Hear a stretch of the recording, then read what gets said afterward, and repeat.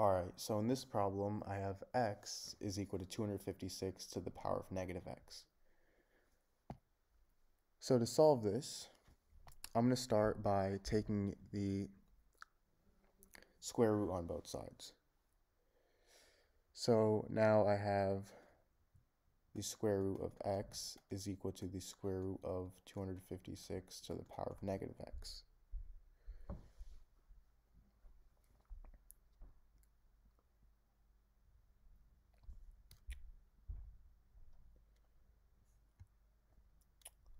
So before we do that, actually, I'm going to rewrite 256 to the power of negative x as 1 over 256 to the power of x.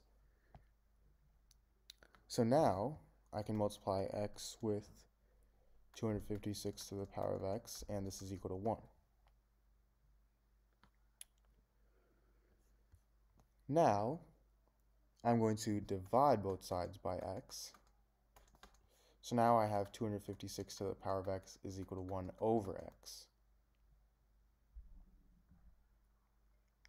And now I can go ahead and take the power of 1 over x on both sides.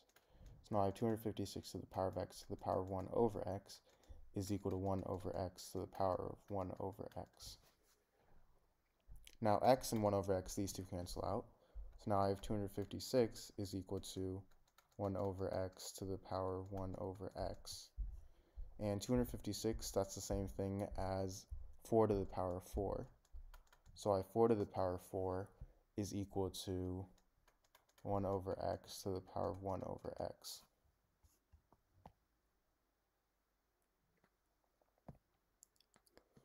Now, if I have something in the form a to the power of a is equal to b to the power of b, this means that a is equal to b.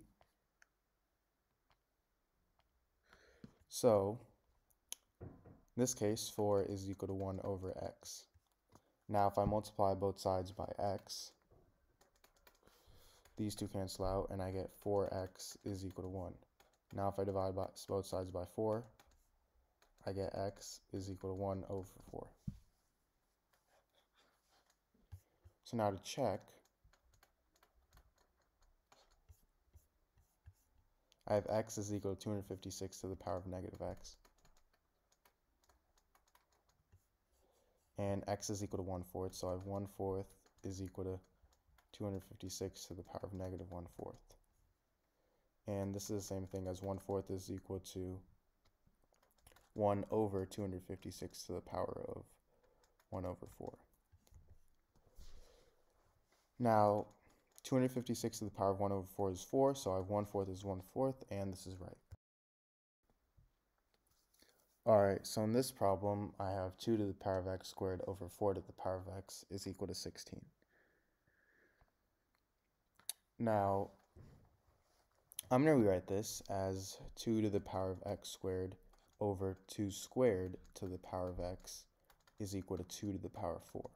So this way, all my terms have a base of 2.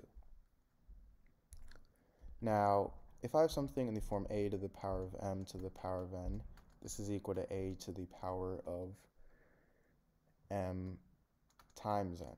So 2 to the power of 2 to the power of x, that's going to equal 2 to the power of 2 times x, which is 2x. So now I have 2 to the power of x squared over 2 to the power of 2x is equal to 2 to the power of 4. Now, if I have something in the form a to the power of m over a to the power of n, this is equal to a to the power of m minus n. So now I have 2 to the power of x squared minus 2x is equal to 2 to the power of 4.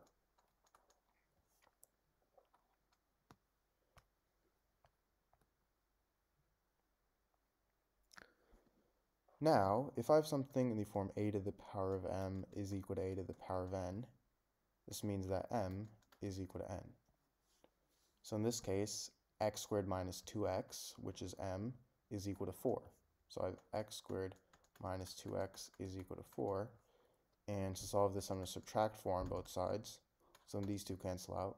Now I have x squared minus 2x minus 4 is equal to 0. Now to solve this, I'm going to use the quadratic formula, which is negative b plus or minus the square root of b squared minus 4ac all over 2a. So in this case, b is negative 2, a is 1, and c is negative 4.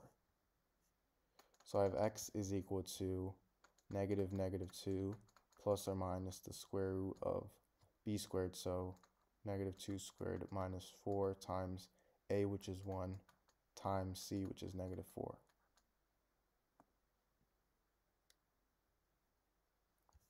And I have all of this over 2a, so 2 times 1.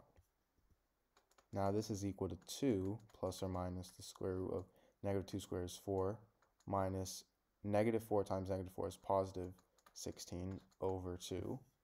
So now this is equal to 2 plus or minus the square root of 20 over 2. And the square root of 20, that's the same thing as 2 root 5.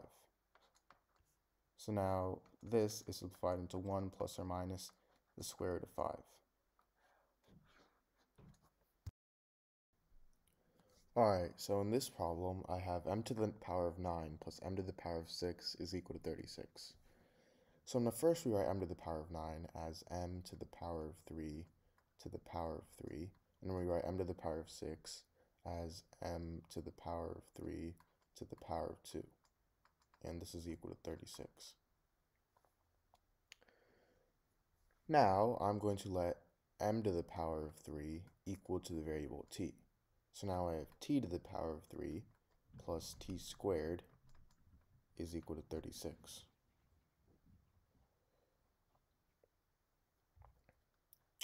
Now, if I subtract 36 on both sides, oops, sorry, these two cancel out, and now I have t to the power of 3 plus t squared minus 36 is equal to 0. So now to solve this, I'm just going to start, I actually need to find one value of t to find the rest. So to do that, I'm just going to start plugging in values. So if I plugged in 0 here, that would just be negative 36. If I plugged in 1, that wouldn't work. 2, that would be 2 to the power of 3, which is 8, plus 2 squared, which is 4, minus 36, which would not work. 3, that would be 27 plus 9 minus 36, which would work because 27 plus 9 is 36. So I have 36 minus 36 is 0, which is right. So t equals 3. That's our that's the value. That's one value of t. So now that we have that value, we can find the rest of the values. So what I'm going to do is from here, I'm going to rewrite this as t to the power of 3 minus 3t squared plus 4t squared minus 36 is equal to 0. And now, if I factor out t squared from t to the power of 3 minus 3t squared, I get t squared times t minus 3 plus, now I have 4 times t squared minus 9. Now, this is the same thing as t squared times t minus 3 plus 4 times t plus 3 times t minus 3 is equal to 0. Now if I factor out t minus 3, I get t minus 3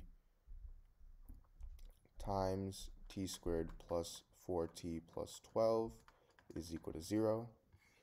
So now this gives me two equations. I have t minus 3 is equal to 0, meaning t is 3, and t squared plus 4t plus 12 is equal to 0. And This is actually going to be result in no solutions. So t equals 3 is my only value. And remember how we set m to the power of 3 equal t. So if m to the power of 3 is equal to 3, this means that m is equal to the cube root of 3.